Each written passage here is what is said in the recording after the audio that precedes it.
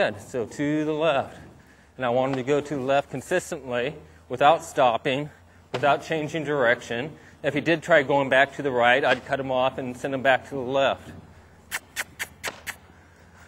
Okay, so that's pretty good. So now we're going to change directions to the outside.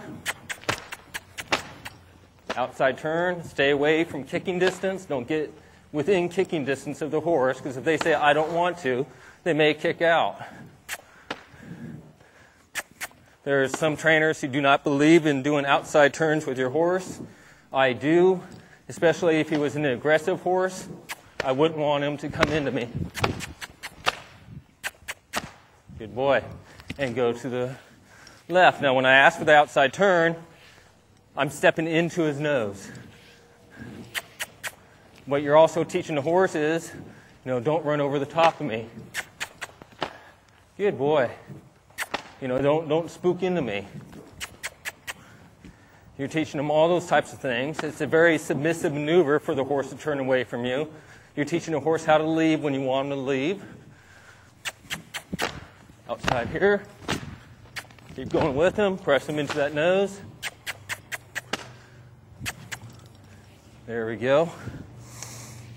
So it's also a very, you know, submissive maneuver when I ask him to turn away from me.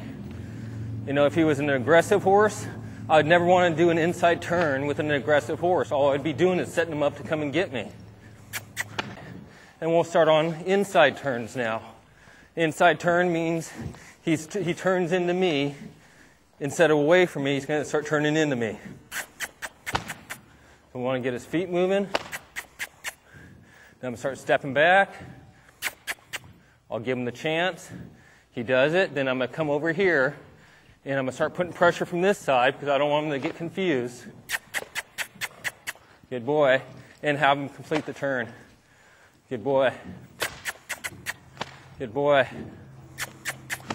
And inside here, I'm going to start stepping back. Good. And he says, Good boy. Good.